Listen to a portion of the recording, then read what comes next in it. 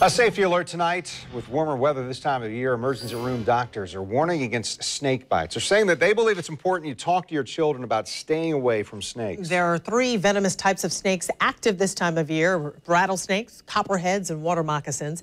Channel 4's Destiny McKeever shares this big warning.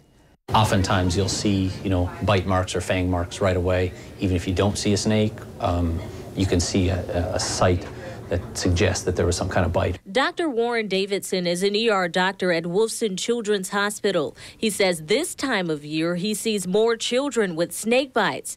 Dr. Davidson says parents need to act fast. And ER doctors say if your child is bitten by a snake, the first thing you want to do is take some soap, get water, and clean the wound.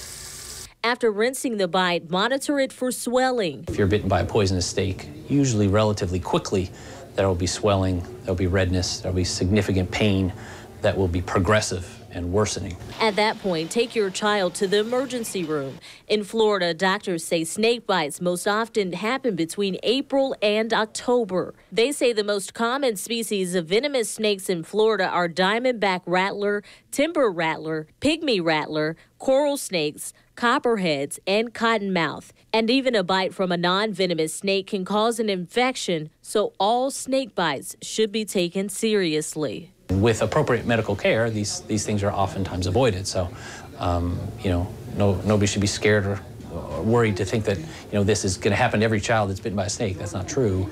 Um, but it is important if there's signs of a poisonous snake bite that that child be evaluated and, and cared for. Destiny McKeever, Channel 4, the local station. Doctors say if your child is bitten and you're not sure what to do after you wash the wound, just call Poison Control. We have that number posted for you on news4jax.com.